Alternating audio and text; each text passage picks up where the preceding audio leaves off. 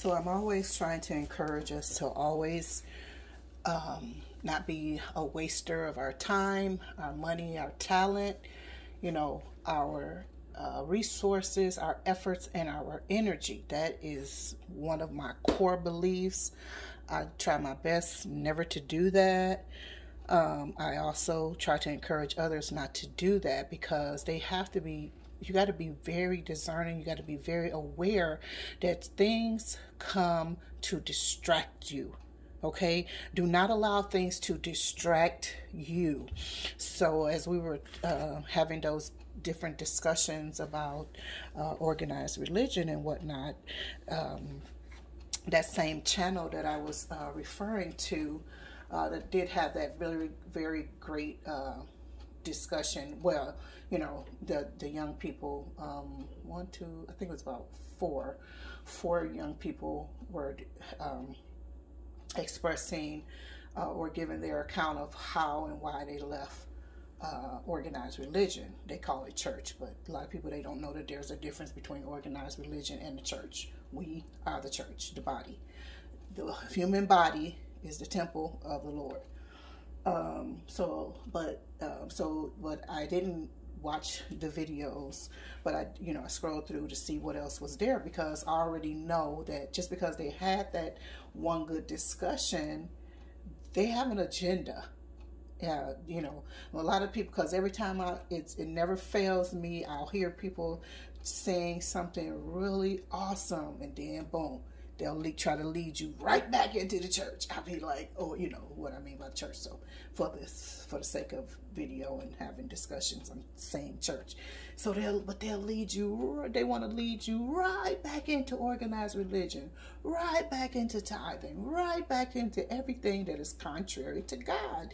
So I'm always like, you know, always, uh, you know, uh, Uh, what do you call it? I can't think of the word, but I'm always on guard and always know that that's exactly where they're trying to take an individual. So I was saying bravo to the discussion, but I already know that they're trying to, they have an agenda for whatever that was. It's not to for other for us to be aware that we have no business in the building, but it's to try to do they're gonna do do something. It's to bring people back into that building so that people can be to start tithing and and doing all the other nonsense that goes on within that building. Because if you note that, because uh, and I was so it was so refreshing. I was like, oh, you know, I was loving what they were saying because this one young man, he was like, you know, he how during the pandemic. Because I always say this, so many things have been exposed during this pandemic so many things. I mean, I can't even count all of them. They're just so rich. You know, it's like, wow you know.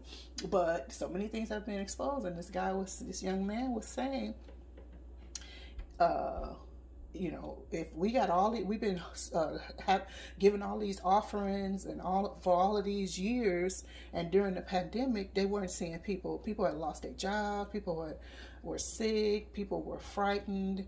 People all you know didn't have did this, didn't have that. But the church, in quotes, never stepped up to give a dime of, fin- fin- of any type of financial, it didn't step up to become a financial resource or a, a food source or a source of encouragement. All it was was taking, taking, and taking. Okay? And these are my words, some of them, but that's what he was saying. Then another young lady, she was like, um, if, I think, well, the young man said, if another young uh, man said it first and then she piggybacked off of it. But what they were saying, in essence, is that if you had a thriving church, church bringing in all of this money in a neighborhood, well, the neighborhood should reflect what what's happening in the church. You know, the church should be aiding individuals and helping individuals. I mean, I, you shouldn't, and that is the truth. You'll, I mean, that's why we know it's wrong, but we still keep going. We know it's wrong. You know it's wrong because so many of these little churches are in really poor neighborhoods, but all of this crime and uh, blight and every, all you know different different things horrible things are happening in these neighborhoods but none of these churches step up to the ball to the uh, to the plate to do anything different for these neighborhoods if i mean come on now even in your own neighborhood even in your own household you, you uh, it, uh, you know, you make things better. Whether it's cooking a good meal, whether it's keeping your house clean, keeping your your environment clean outside, you you're doing something to make things better, right? You know what I'm saying? So, but the church never does anything to make things better. It's just a hole that people keep sinking their money into. What was that one? Used to be a movie. There was a movie called something. These people had bought this house, this old house, and they thought that they were getting ready to renovate it or rehab it or whatever, and it was just a sinking hole, a money pit. I think it was called Money Pit.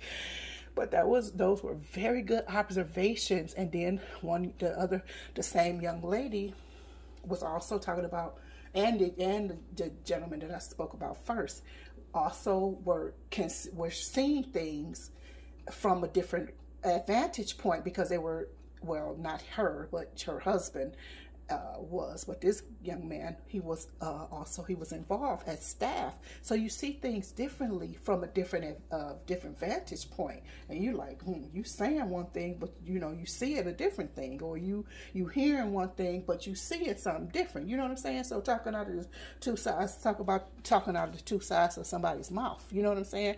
Then another young lady, because I say it was just four participants besides I think the, the besides the moderator um, was saying that she didn't feel like she said a few things, but definitely she said that what she knew church to be, it was not. And it never drew her in. Like she never wanted to participate in anything, which is how, thank God, oh God, I was coming out. But although I was feeling like, oh, this can't be good, but I just did not want to be bothered. I was sickened by it. I was tired of it. I was just, I could not go. I just stopped going, period. I was just like, I was, even though I was making excuses because I was in school at the time too. But even when I was not in school, I still was saying, I'm, I'm not going. I'm in school because I just could not. It was just so draining. It was just so draining. It was like me against a world because it, I was basically because all of them was doing one thing, thinking one thing, saying one thing, living one way, and I was like, this is wrong. And I would always address the pastor. Uh, this is this is this this is that let's do this let's do that oh no the people they not ready for that or they would be making up all he was and he's so not a leader and so not a, a strong, courageous person at all. Very weak, very weak. Um, and these are at, um, these are my um, um what do you call them?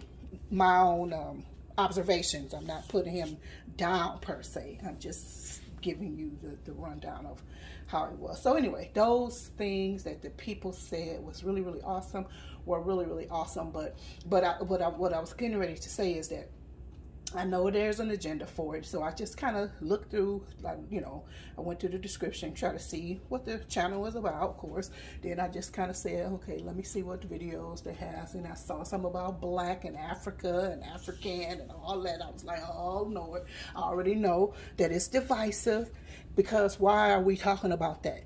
These things come to steal, kill, and destroy, and to steal your time and to, to distract you from what the real work of Christ Jesus is uh, and means. Anybody that starts talking to you about race and all of that is wrong. You know who you are. You know who you, you know what I'm saying. You know that you're, uh, if whether whatever you are, you know where you what you are you know but then to start talking about uh, people being prejudiced again people have been prejudiced since the beginning of time. You better stop letting all of these foolish things get the best of you. If nothing else overcome it with love. That's why the, the new testaments commandment is to love the Lord your God with all of your soul, your might, your strength, every, every fiber of your being, and your neighbor as yourself. When you love the right way, and I'm not talking about jumping in the bed with somebody because people think that's love or some other nonsense, gushy, gushy and gooey, you know uh, is, you know, but when you actually love a person, you could care less about all of that other stuff. And you will love this person into a submission. okay? Or, you know, maybe you'll sow a seed of love and then on and on and on, other things will begin to happen. And, you know, people change. People can change.